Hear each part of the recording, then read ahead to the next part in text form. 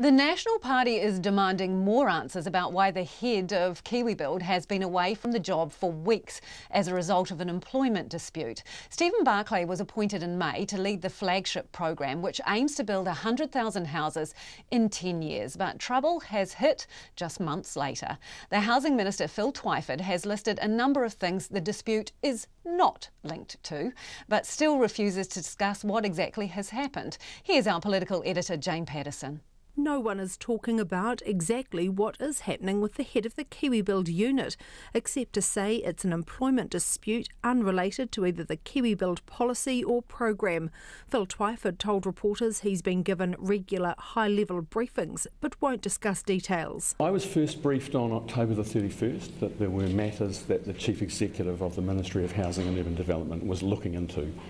Um, I was told at that point that um, it would be better if I wasn't briefed on any of the details uh, about that, and I took that advice and I am holding to that. Mr Twyford says the government's home building program is ticking along regardless, but clearly he would have preferred the employment dispute hadn't happened in the first place. It's certainly an unwelcome distraction, and I'm as focused as I can be on ensuring that as a government we're implementing this policy and we're building houses. There have also been problems at the New Zealand Transport Agency, with the resignation of Chief Executive Fergus Gammie following ongoing pressure about the agency's ability to enforce road safety regulations.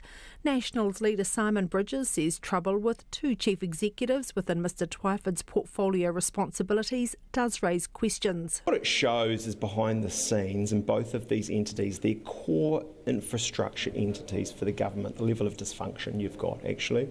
You've got a situation in Kiwi KiwiBuild where we're seeing every day the shambolic nature of it, and that's led to a breakdown in the relationship. You're also seeing the same in NZTA. Look, I know that entity incredibly well. Fergus Gammie was a first class chief executive. He says the minister should be more transparent about what's happening with the Kiwi KiwiBuild chief executive. You find examples littered throughout uh, the recent past where ministers have chosen to speak on some of these things and other times they didn't. So I think that's all very convenient, frankly, too convenient. Mr Twyford did give some detail in Parliament about what the dispute was not related to. Mr Barclay's employment matter has nothing to do with his relationship with me or my office.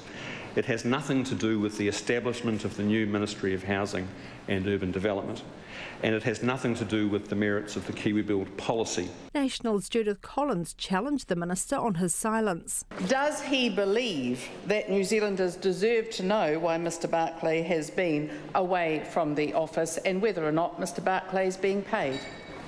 I think New Zealanders deserve a minister that will follow the conventions of the Cabinet Manual and the provisions of the State Sector Act, not wading into an employment dispute I would have thought the member, who's a former lawyer and a minister, would understand that. Phil Twyford says he doesn't know how long the situation will take to resolve or how much it's costing taxpayers with Stephen Barclay away on leave.